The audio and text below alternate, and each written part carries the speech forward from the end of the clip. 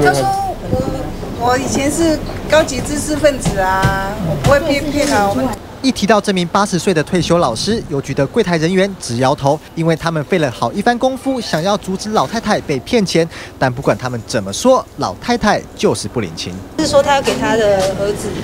对，然后他儿子是在国外，还没有回来。原来这名退休老师在家里接到诈骗集团的电话，说他的银行账户被盗用，要监管他的存款。尽管这已经是诈骗的老手法，但他还是信以为真，跑到邮局坚持要把钱领出来。以现在的社会来讲，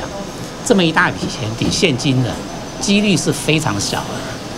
所以我们就直接怀疑说他你这个真的是有问题。老太太一边领钱，诈骗集团还在另一头电话遥控。最后邮局人员讲不动，还找来了当地的警察、里长，还有老太太社区的管委会主委，甚至连他的小孩都从台北跑回来加入劝说。一群人就这样围在邮局，跟老太太讲了好几个小时，一直跟我们讲说：“你放心，